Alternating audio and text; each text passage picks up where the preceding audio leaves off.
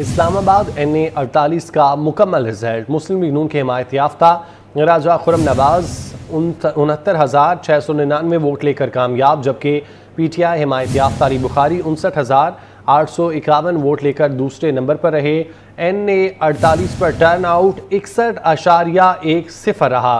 Islamabad N A अड़तालीस का ये मुकम्मल रिज़ल्ट है, जहाँ पर मुस्लिम लीग नून के हमायत याफ्ता, राजा खुरम नवाज़ उनहत्तर हज़ार छः सौ निन्यानवे वोट लेकर कामयाब हुए हैं, जबकि पी टी आई के हिमायत याफ्ता, अली बुखारी हैं, जिन्होंने उनसठ हज़ार आठ सौ इक्यावन वोट हासिल किए हैं और वो दूसरे नंबर पर रहे हैं।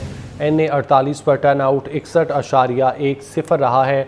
एन ए अड़तालीस का ये मुकम्मल रिज़ल्ट है गैर हतमी और गैर सरकारी ये नतीजा है, जहाँ पर मुस्लिम लीग नून के हिमायत याफ्ता, राजा खुरम नवाज़ उनहत्तर हज़ार छः सौ निन्यानवे वोट लेकर कामयाब करार पाए हैं जबकि पीटीआई के हिमायत याफ्ता उम्मीदवार का दूसरा नंबर है।